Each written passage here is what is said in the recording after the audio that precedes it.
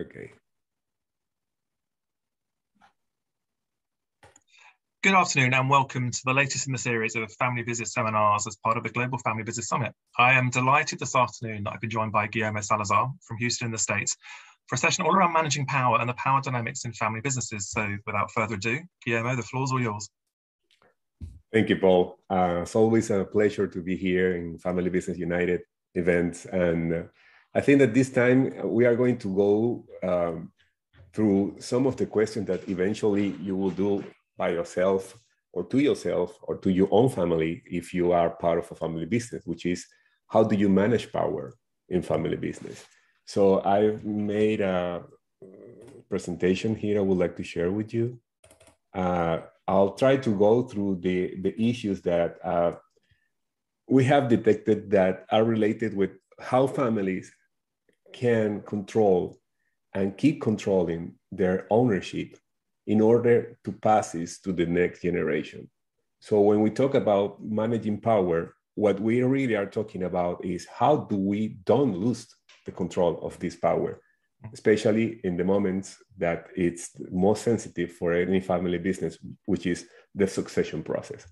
So um, what we're going to do here is we are going to spend some time talking about four factors that are related with this capacity of controlling power.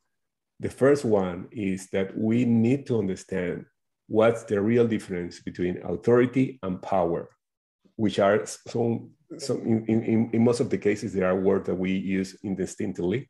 There is a huge difference between them.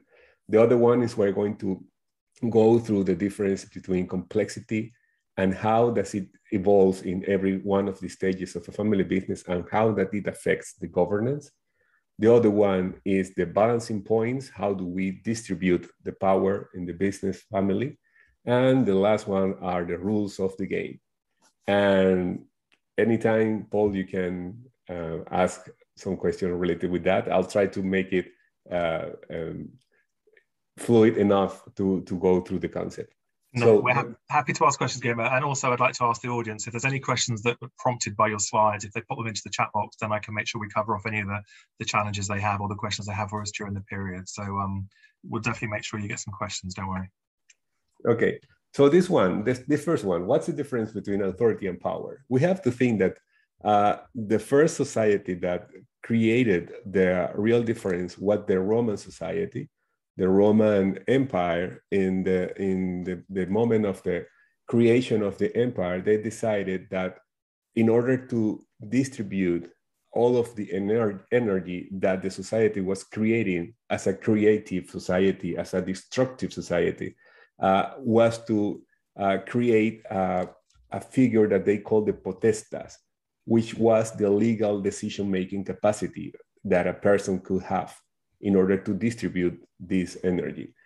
But they also recognized that there were, they were people that they called the autoritas, which were the people with a social standing to issue opinions, is what, what we call today an influencer. An influencer in the society, in sometimes they could have more importance. In, in, in, in some cases, they could beat the power itself. The authority was the most important thing that a person that would like to be a leader should have. And they recognize that in some cases, the leaders, the natural leaders, could have both potestas and autoritas. But in some cases, leaders only have power, which was not enough. And in order to illustrate that this concept, I would like to uh, play a video of uh, a, a movie I'm, I'm pretty sure most of you have already seen it's Gladiator. It's I can't believe this movie has 21 year old, and it was uh, uh, the history of a of a uh, general of the Roman Empire that was uh, uh, accused of, of killing the, the Caesar, and the Caesar uh, was killed by his successor. The scene that we are going to see is when the, this general returns as a gladiator after beating all of the different stages a gladiator need to be in the in the Colosseum.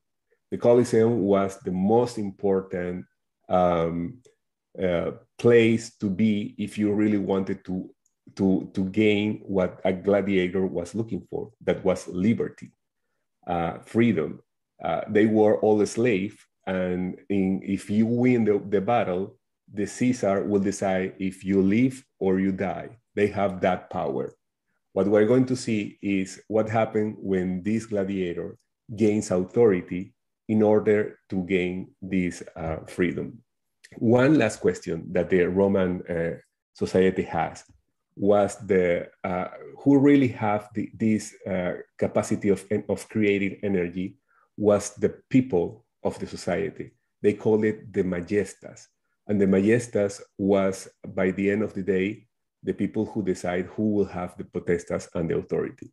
So um, I will play this, uh, this clip of the movie when we are going to see what happens when the gladiator wins the battle in the in the Colosseum and the new Caesar, who has the power, comes to uh, congratulate him. So I will stop here and I will call this one.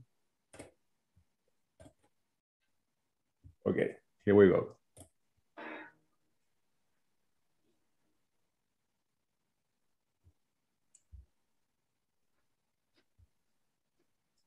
Guillermo, the sound's not playing. You still have sound? No? No. Okay. Oh, yes, we do now. Uh, do you have it now? Yes. Okay. Sorry for that.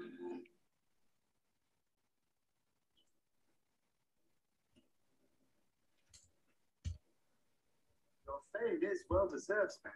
I don't think ever been a gladiator's match. With this young man, he insists you are Hector reborn. What's a Hercules? Why doesn't the hero reveal himself and tell us all your real name? You do have a name. My name is Gladiator. How dare you show your back to me? Slave! Remove your helmet and tell me your name.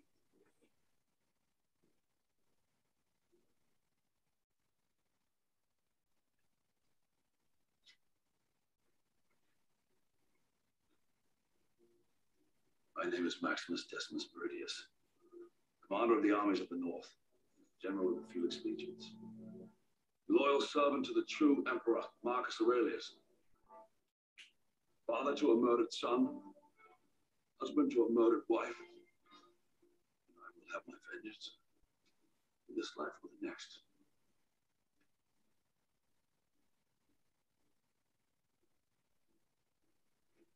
Ah!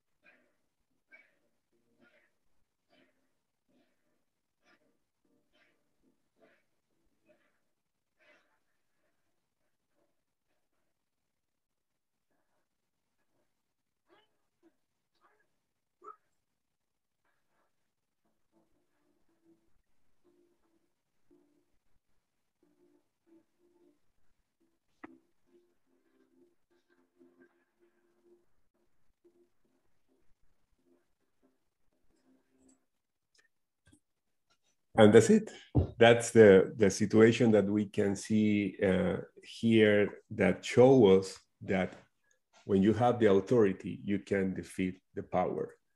And that shows us that what is most important in managing the business that you are trying to lead is that you need the authority and our concern as family business owners is that the next generation need to develop their own sense of authority. Not power, because they will have power. We will give them power. We will give them the, the keys of the business to lead it. But what we need them is to create the capacity of this authority that is something that they have to create by themselves. The only way to create authority is fighting in the exile where was Maximus and creating your own prestige and be confident and face the power and create this sense of authority. Only then the majestas, the people, the business, the family is going to recognize what you are really having. So that's what is the most important thing in managing power, understanding that for the next generation, we have to create the condition that the next generation gains their own uh, um, sense of authority. Guillermo, how, how in terms of your experience then does that balance with the responsibility and then also authority to to make decisions, but having the responsibility to make those decisions? There's a fine line, isn't there, in terms of a next gen mm-hmm. having authority and then actually being allowed. So, so, so how does that balance play out for you?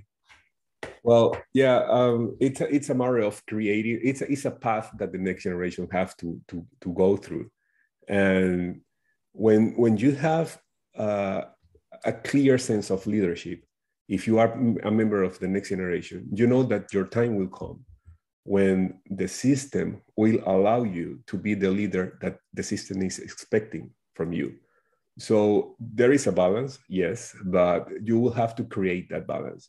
Uh, you will have, as I mentioned before, you will have power in some cases, but you have to demonstrate to yourself and to the rest of the system that you are the person that the, the, they are expecting. And how do you do that? You, usually you, you do that in, in three steps, three different steps. You, you At the beginning, you have a, a, a kind of, um, of credit that the system gives you because you are a member of a, of a family, uh, you are supposed to have studies, uh, you have maybe a, a, degree that, that, that, that led you uh, uh, be in the, in the the position that you are uh, and they they give you a credit. Maybe this person is something that we, we are looking for. Mm-hmm. then the second step is when you develop your own day-to-day performance and you solve the situations that usually you are expect to do in the in the charge that you are, you are doing. But the third and the most important one is in a situation of an emergency something that happens that nobody is uh, is expecting that happens and this particular person solves the situation. Then is when the system says, this is the man or the woman, the woman that we need. This is the leader that we need. But but it's a process. It's a process that you you you have to create by yourself. And and we as as as parents of the next generation, we have to help them to create these situations. We have to let them uh, the room necessary to uh, develop this uh, capacity of authority. And that's the most important part of, of succeeding a, a, family business. Do you think, given the given the context of where we're in, Guillermo, sort of two years into pandemic and gl- uh, global kind of issues in terms of managing and, and families have come back together, do you think the last 12, 18 months then there have been more opportunities for the next generation to really demonstrate their ability than they would absolutely. normally have had? Absolutely, absolutely. Those in every crisis, we have always the opportunity to reinforce the, the development of the leadership. And we, what we have witnessed is basically two situations in the, with the clients we, we, we working with. The first one is that if there is not a definition of the leadership, this crisis has obliged the, the system to define it. And in those cases, you have to redefine what is what is not working and and and if you can do that you will you will have the the new leadership emerging in a family business. And the other case is that this crisis if the leadership has strong enough structures to support it it got uh, reinforced with this crisis and this situation. And the leadership was uh, reaffirmed in in in in almost these months that we've been living through. So so yes the crisis helped even to define or redefine the leadership in family businesses. Yeah. Absolutely. So um, I'll keep on going with this uh, presentation. If you allow me to go through the next uh, concept, which is complexity and governance, uh, which is, is a concept that uh, is related with the evolution of the family business. Um, when we think in terms of ownership, and we know that basically we have three stages when when we think about the family business, at least in the in the first one, which is the first one is controlling ownership, then the sibling partnership, and then the cousins consortium. And if we think about uh, the possible options that a family business has in order to go through the evolution of the complexity, we will see that there's always an option to go to the go back to the road of simplicity by pruning the tree, which is an expression that means that we can solve um, the distribution of the ownership among different owners and try to simplify the ownership and going back in different stages. And the other one is the road to the complexity, which is the one that is related with several owners.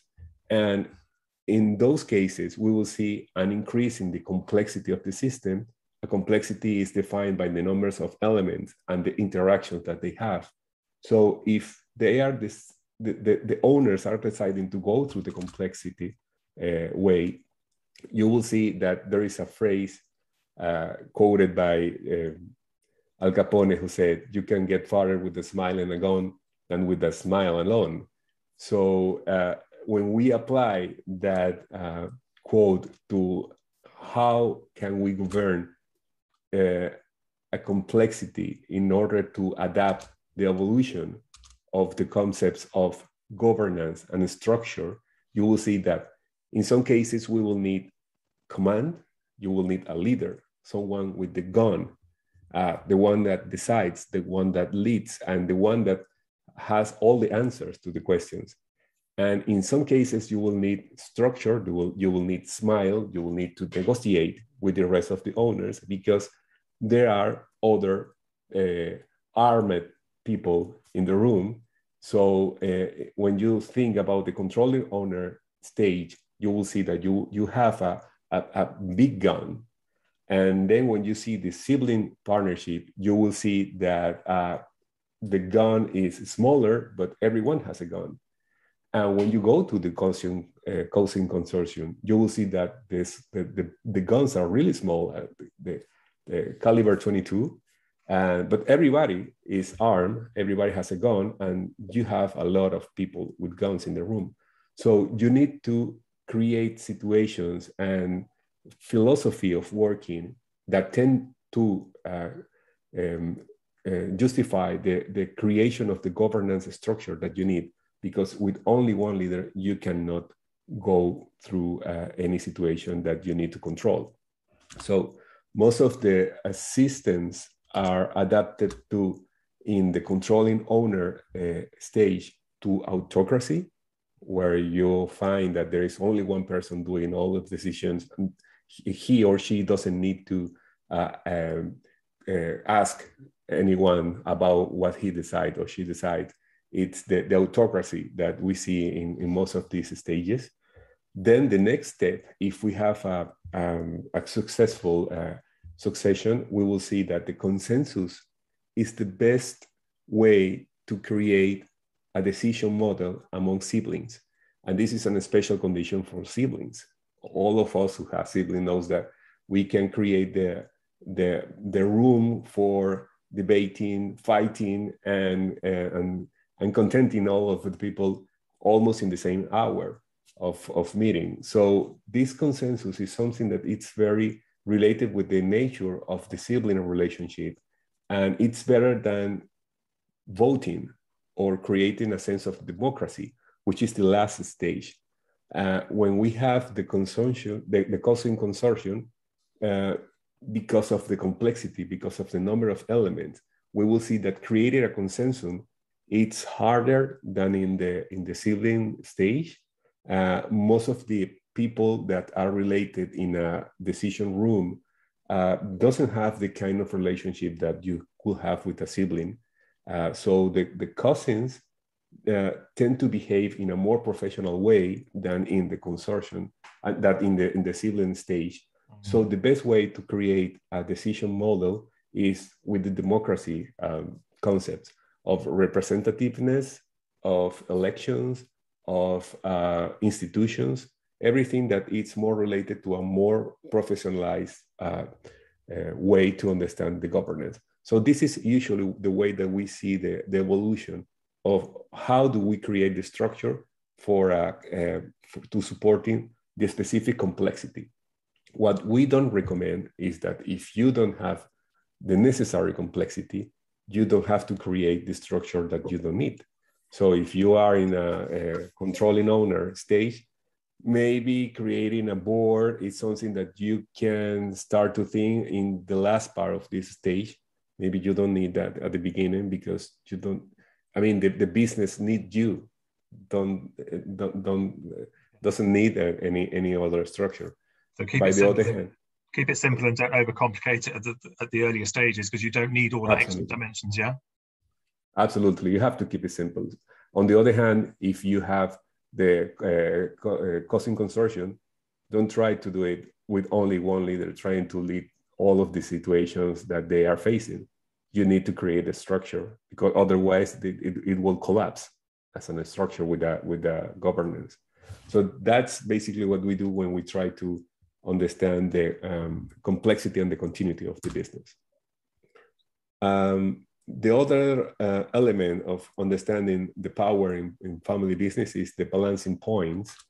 And that's when we call uh, the concept of the three circle model. Of course, everybody here knows what this model is about. Uh, we will see that uh, the way that we uh, conceptualize the system is understanding that every circle has its own identity, but at the same time, they share an identity as a system and the first balance point that will help us to simplify this complexity is the business balance point. So um, understanding that there must be an institution that can help us to understand what's the what what the ownership wants, what the business want, and how do we equilibrate everyone who is talking about the same situation, the same reality, we will find this institution uh, is the one that we call the board. And this balance point, which is the board of direction, has precisely these kind of functions that help us to create the balancing point between the two circles. The first one is managing uh, shareholders' investment. Um, they have to define the business strategy. They have to design uh, how they can design the, its own organizational structure and frequency of meeting. Um, they determine the resource allocation for firm management, and the most important of all, which is hiring, evaluating, supervising, and firing the CEO of the business. This is what a balance point do. And when we have a, a, a functional board that can understand what are the needs of the ownership and the needs of the business and can create the situation that uh, lead the, the, the thinking of what's the best for the system, you will have a board that works in the, in the balance point concept. So this is, this is the one that we understand. Um, moving forward in the, oh, and there are others, uh, other functions that are, are, are, established by, by the laws. Uh, in the other hand, we will have the balance point of the governance of the, of the family. But before that, uh, every um, system of, of governance in a business uh, uh, of private capital, independent of if this is a family business or not family business, we will have this uh, um, shareholders assembly going uh, to decide over the board of directors and the board of directors over the CEO, and then we will have the different positions of management. Uh, this is how the structure of the governance of the family firm usually uh, works. Then uh, the balancing point for the family side, we will have then uh, looking for an institution that can help us to understand what the needs of the family and what the need of the ownership. And once we have that institution created, we will define it as the family council, which will be the family balancing point as an institution which uh, will try to, to, to perform these functions that is basically uh, focused on planning the succession, in providing education and development opportunity for family members. Um, in some cases, it can mediate uh, conflicts between family members. Uh, it provides training and informing present and future family shareholders. It supports the family protocol or family charter development and oversees its updating and application. Uh, it also uh, provides study and understanding of family culture and values. And basically, uh, uh they uh, can help us to uh, oversee a good relationship. the, the, the climate, the, the, the way that we understand how good communication qualify as well as harmony and, and unity in the family. We can also, from the family council, develop structures, policies, and procedures in accordance to the family needs, uh, prepare the next generation to be responsible owners, uh, attempt to include uh, family pores. In some cases, we can create these uh, special support for endeavors and scholarships and, and laws or, or aids to family members. Yeah. Um, it can help, help us to coordinate the family philanthropic activity and play the role of guardian of the family legacy. And finally, what the, our real family council do uh, does is, is guide transcendental decisions regarding the family's patrimony. It's basically what we understand on what are the functions of the of this balancing point of family and ownership. So as a structure, it's more simple than the balancing point of the business. We will have uh, a de facto um, um, institution that controls different committees of, of working on different issues that the family will need. We can have a junior committee or, or three, uh, third generation committee or, of cousin committees uh, the family office, the family assembly, or a family foundation, anything that the family needs to develop a governance in all of the issues that are not related specifically with the, with the business, uh, we can control them from the family council.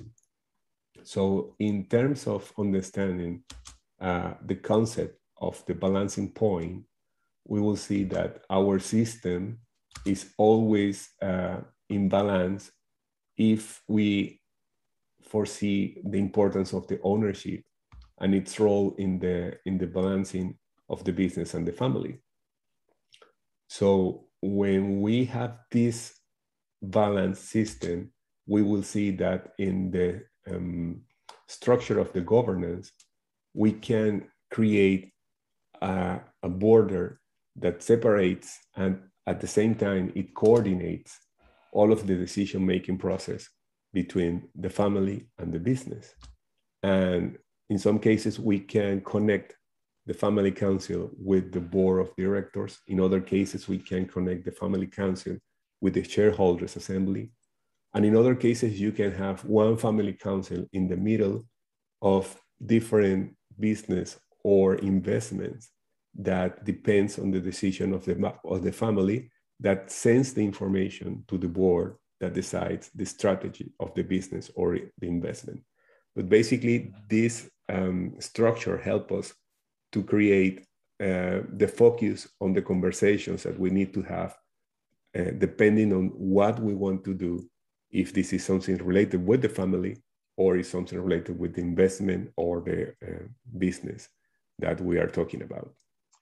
So, I guess Guillermo, as a family or a family member, seeing a structure like that and having that presented to you as maybe a next generation member that's not involved in the family, just trying to understand your role as a family member um, in the structure of how it reports into the family council or how you interact with the, the, the, business, this kind of clearly defines that, doesn't it? So it's, it's useful just as a document, just so you can understand where you sit as an individual within the whole structure of the family and the business because you've often got and, and, and that's a simple person that's not involved if you're a family member that's a shareholder and has a board of director role, then just understanding where you sit and how you how you talk to yourself effectively can help clarify some of those decision making processes. Mm-hmm. Yeah, in fact, that, that's what usually happens when you you start to understand what your real role in this structure. You will find your own place. Yeah, and it doesn't mean that because you are a member of the family, you have a seat in the board of directors because this is your birthright. Au contraire, what you need to yeah. do is understand that you are a member of the family, that maybe you will be uh, an owner, and maybe you will have the power to decide who has to be seated in the board. So um, every time that, that that we think about what's my my own role in all of this structure, uh, and and if I am sincere on what I want to do with my own um, uh, future ownership, I will find the right place for what I want to do with my life. So in some cases, we we can keep on the family council. Uh, we can be part of a, one of the committees that works for the family business. We, yeah. You can be part of the uh, of one of the investment groups of the family uh, office, for example. Uh, but you don't have to be always in the board. This is something that uh, probably, if you are good enough to create value, to uh, decide the strategy of the business, maybe the owners can help you to see if you will be a good member of the board or not. It, it will depend on the owners. Yeah, and I guess the other thing, looking at the screen and the slide, it's almost giving you an opportunity to define role potential roles down the line for a next generation member to step into. So they might take a role on the family assembly or the family foundation, or as an external on the junior committee, or they may be a manager in the business. But it gives you an opportunity to see what the entry points may be for you as an individual at different stages of your career too. So it's it's got a really broad application, hasn't it? Mm-hmm. Yeah, but that's that's something that we have to define prior to any attempt to to to be part of this business. Yeah. Um, and that's that's one of the policies that you usually um, try to define in the in the family charter. Um, yes, it, it's in fact I will say that that's a classic in the family business mm. uh, uh, charter reduction uh, discussion, um, and and and most of the family that cannot define that policy I can see that they they they confuse uh, the concept of what a family needs and what the business needs, and that's what the balancing point tries to make to do for the system. Try to put what what you really need in order to uh, keep the power and the control of even either your family or the business. So when you put everything in their their their right place things start to make sense to you when you try to uh, uh, commit members of the family with this uh, with the business it's a bit like the jim collins book isn't it? Where he talks about having the right people on the bus but then actually having the right people in the right seats on the bus. And you could take that bus. It could be the family council. It could be the board of directors. But it's about having the right people in the right places at the right time to drive forward the agenda that you have. Yes. Yes absolutely. And as, as we mentioned before this this example that we are staring right now, for example, this one is a it's a complexity level, high complexity level. This this one we can see that we have most of, of anything that the family need in in order to to to to create this control of the power. But in some cases you don't need that much structure, especially from the side of the of the family. And maybe a family council could be enough. Uh, they, they, they can move from the governance to a more um, a operative uh, function and, and, and, and be more uh, hands-on on, on, the, on a day-to-day uh, decision making for the needs of the family. So in those cases, you can have a family council that is very active and you can invite most of the, of the members that could be uh, or would like to be involved on, on, on, the, on the family side. So um, depending on, on what you are looking for, or, or what the sense of ownership you want to create, you will see that in some cases, maybe the family council can have the answer to much of the expectations of the family members that, that would like to get involved in somehow, in some way, with the business system. So yes, I think that there, there, you can find the right people for the right place. Okay. One, one other question then, in terms of the work that you do with family firms, you talked about the, the family balancing point and the business balancing point. Which one do families struggle with most, do you think? Uh, I would say both. in some cases, you um, it depends on the complexity of the family. Mm-hmm. Again, if you are a family that it's evolving from first to second generation, you will see that creating the board is something that is a new concept. Uh, because as we mentioned before, the in the ownership stage, the, the, the sole proprietor, proprietor uh, ownership stage, um, there is a, a, a, mindset in the system that says that only one is the one who decides. But when you move to the new concept of now we have to think in a new mindset, which is we are a collectiveness that have to decide. And then we have to create a board. We, we can justify the structure of a collectiveness that will take the decision that be in a, in a in a in a prior stage only was made for one person. Yeah. most of the family uh, really have to struggle with that because it's not easy to create the the, the change of, of of state of mind. Once you have the second to third generation you already have the culture of of of, of many making decisions on the for the same objectives. So I would say that in in those cases, uh, struggling with the with the board, it's it's more complicated. But in other cases, you will see that creating a family council and giving power on the family side is something that it's always related with a leader on the on the board side of the business, uh, with with with generosity, with intelligence, and with uh, courageousness enough to create a, another head of power close to him, which is something that he's giving to the family. So in those cases, there are leaders that agree on doing that. Others think that this is something that um, the family doesn't need because they have them. So you will see that in every case, depending of the of the stage of evolution, depending on the complexity of the structure, you will you will find more difficult to implement one or other side. Yeah, okay, that makes sense.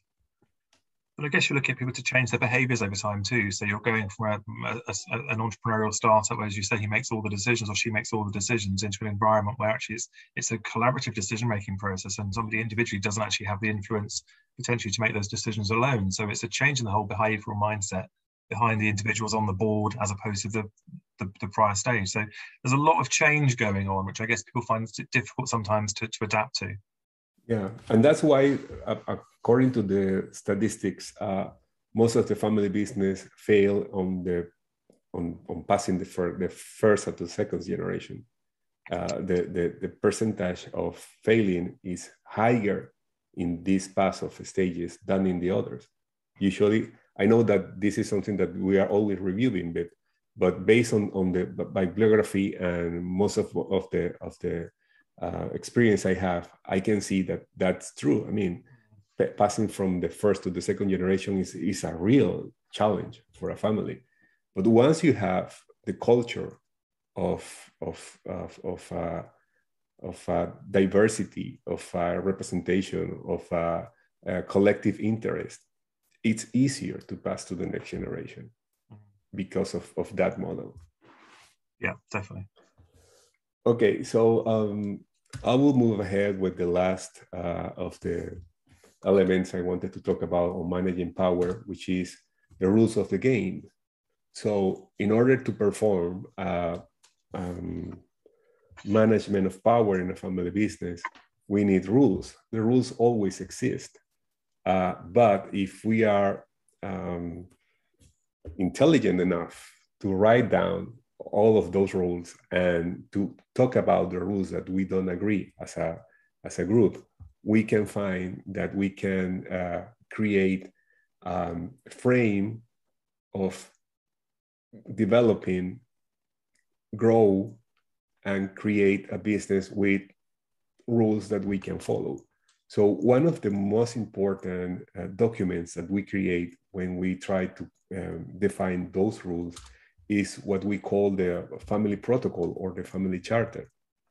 But the concept that we work with is not about the document itself, it's about the process of working together, of having the conversations, of creating a, a sense of belongingness among all of the members that make part of this process.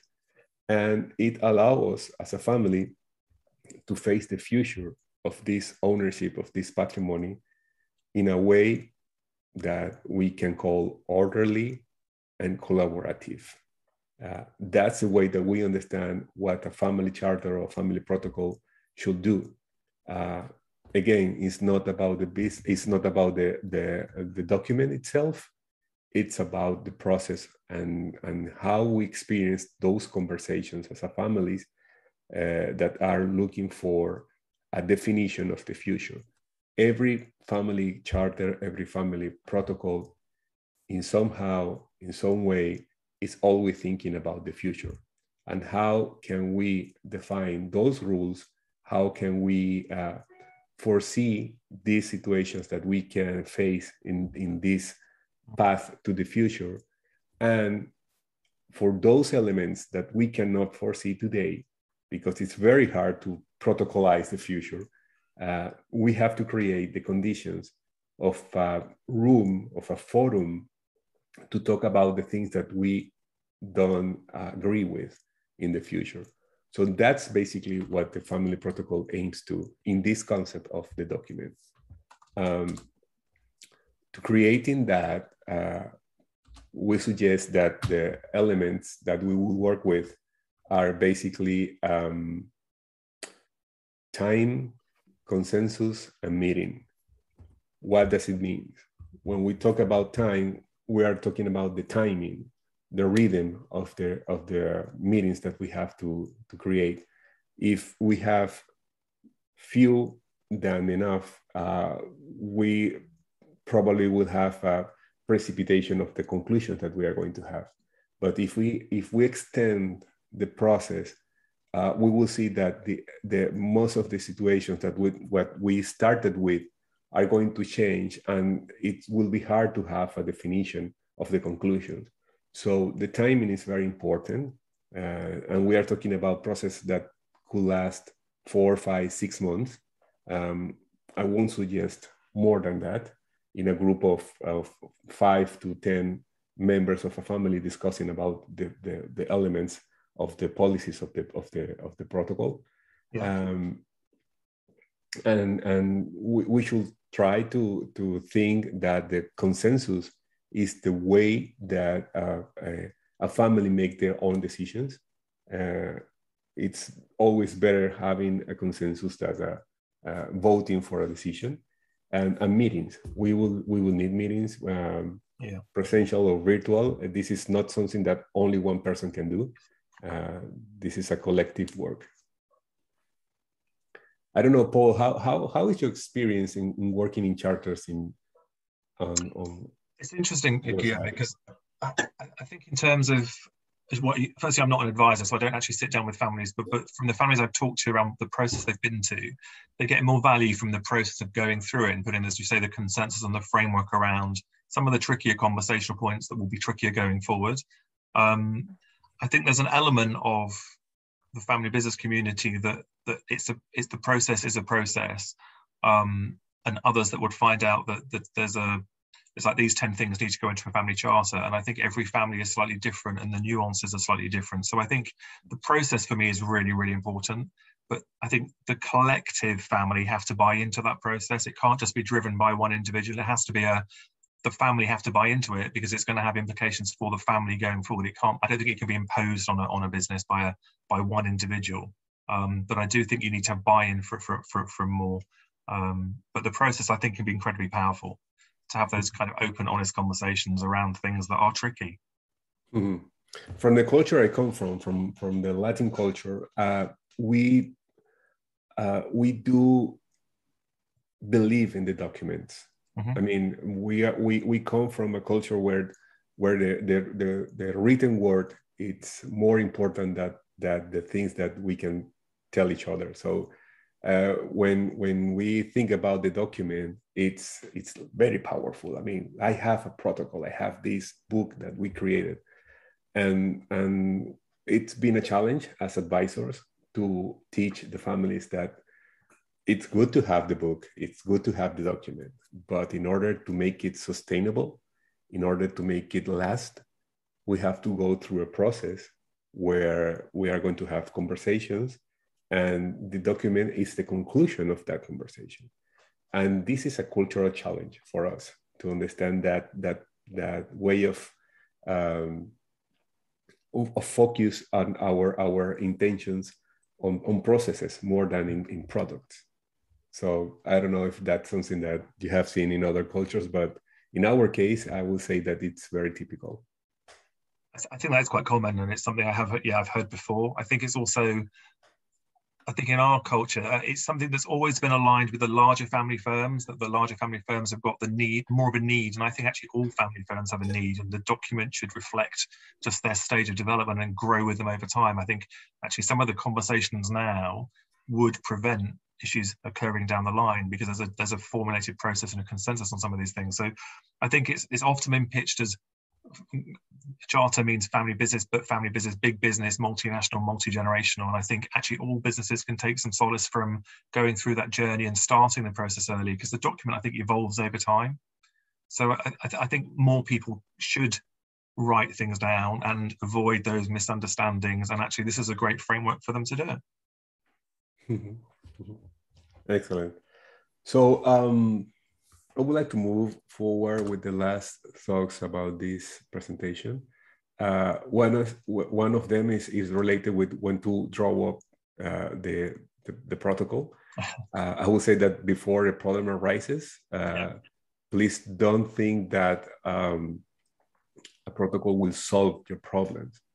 The protocols will prevent the problems or will teach you how to solve the problems, but it doesn't solve by itself. So if you are in a situation of an open conflict, I would suggest not to go through this process. Try to solve first the conflict and then move for uh, yeah. a, a, documentation like this. Uh, the ideal moment is when the business has been consolidated and several members are committed with the project. I will say that all the families that try to reach an advisor to focus on the family are families with a good business situation. They don't call you when the business is is having problems, because when that happens, the family focus on the business, not in, in solving the, the family issues. Yeah. So uh, try to focus on if you have a, a, good moment in your business. This is this could be a good moment to think in the family uh, charter. Uh, when we find ourselves in a time of unity and harmony without power struggles and with a leadership that helps to reach consensus, which is very important on these conversations, and especially convenient in firms where succession is near, uh, in which members of the next generation have joined or will join, and in which the number of owner relatives is large. For example, in the cousin consortiums, I would say that this is almost mandatory that you need this kind of, yeah. of documents. So um, the, the content that usually we talk about in these documents are based on a, a, preamble when there is the justification of why we are doing this, what's the purpose of doing this.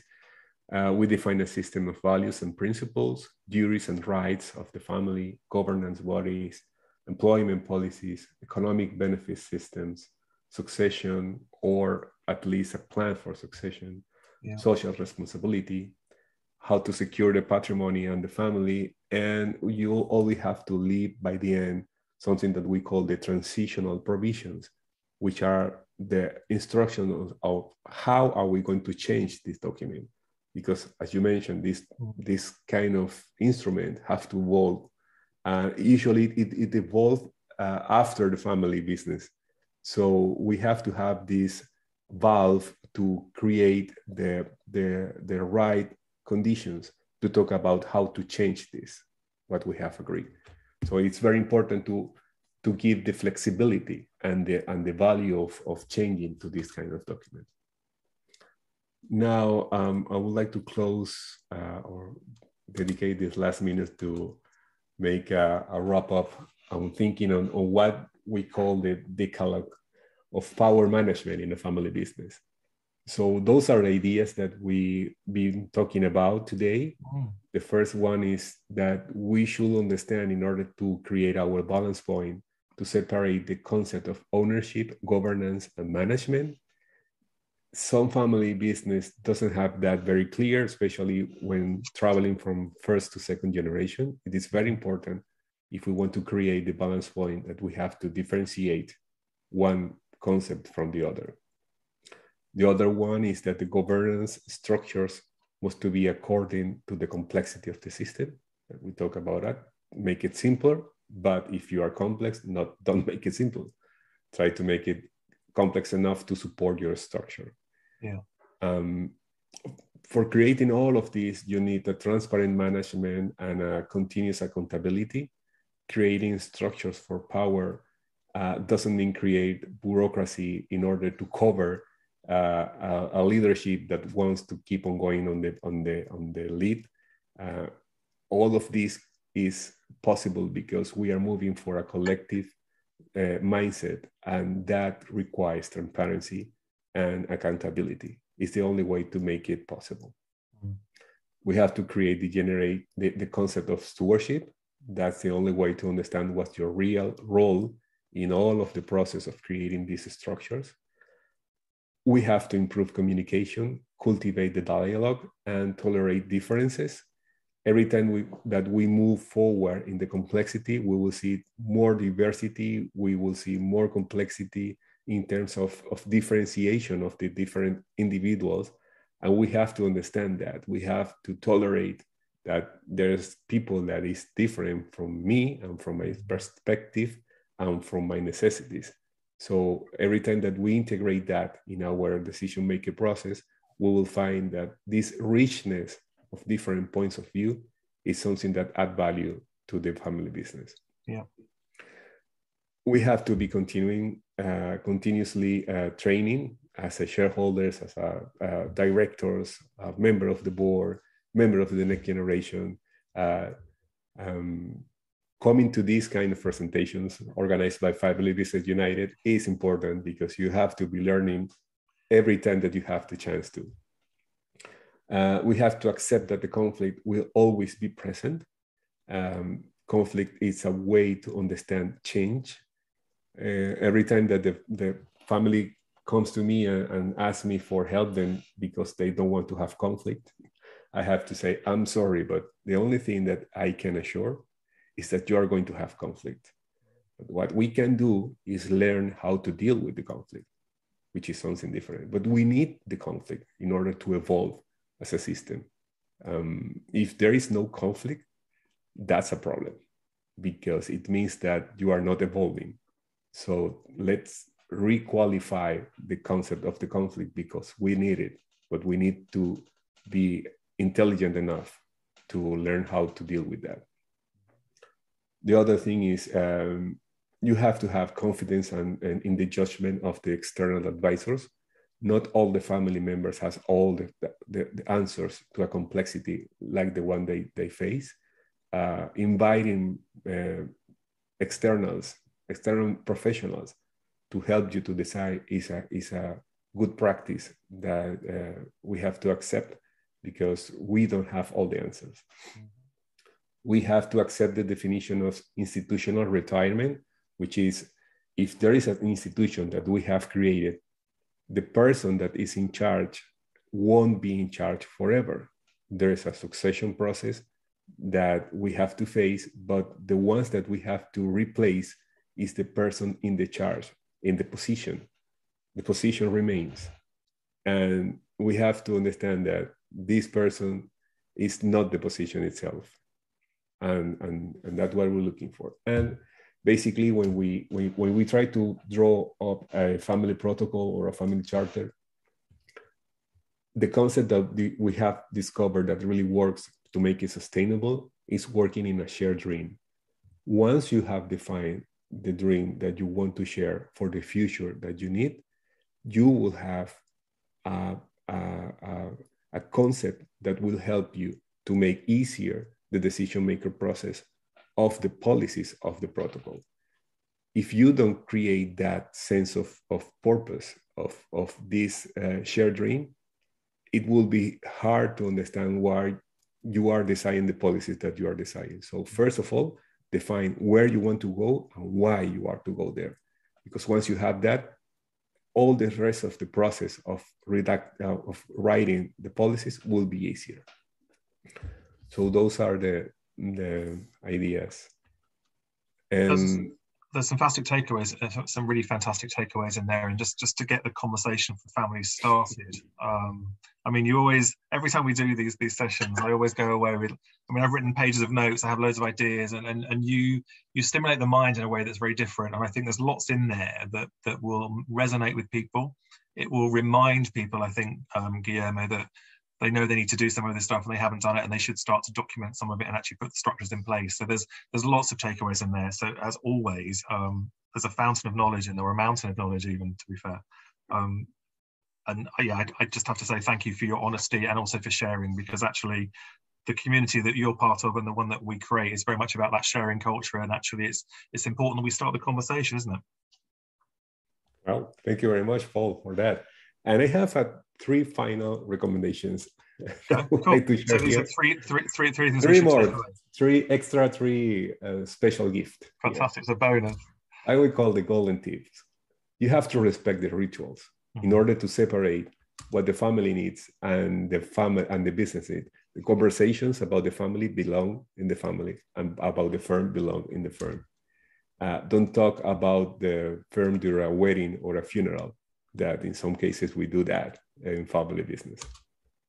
The second um, tip is that we need to create a healthy family. What does it mean? We have to create family gathering and trips. Why not? Uh, getting away from the business habitat generates healthy perspective on the relationships, and it's very important. This is the the gas that move the family business. Healthy relationships among the family. And family, um, we have to learn to exhibit a professional attitude. And being professional means making decisions in an orderly way. It doesn't mean that you have a, a college degree. It means that when you have to face decision process, you have order in that. And when firm issues uh, uh, are to be discussed please prepare, study in advance, and follow the agenda. That's the secret to be professional. And that's it. Guillermo, that's fantastic. As always, I, I said it before, but it's it's the structure's there, and actually it will help the conversations. People have conversations around this this stuff. I know you're always around on on, on connections, and we're happy to make introductions as and when we can. So if anyone does want to get hold of you, they, they know where to find us, and we can put them in touch. Um, all it, all it, remains for me to say is, is thank you for your time, um, investing the time to create the, the, the, session that we wanted around power. Power is a very sort of, it's, it's not often talked about, is it? It's one of those concepts that's there and people know all about it, but but it causes issues. So the frameworks that you've prepared today were were brilliant in terms of documenting that for us and sharing it and, and, and raising the, the questions and starting the conversation. So and, and if you allow me, I have just published this book a road to triumph in family business. Fantastic. It just uh, about two weeks ago. Most of the things I've been talking today are here in okay. a further situation. So I will make sure um, I, I dig out the link to that after the session and we, will share that for you as well. Um, and we'll add it to the, the, library on, on the session. So, well, congratulations on the book. Um, Thank you. And um, I look forward to catching up with you again soon. And as always, continue doing what you do to help the family business community. It's fantastic. Thank you, Paul, for the invitation. Thanks, okay.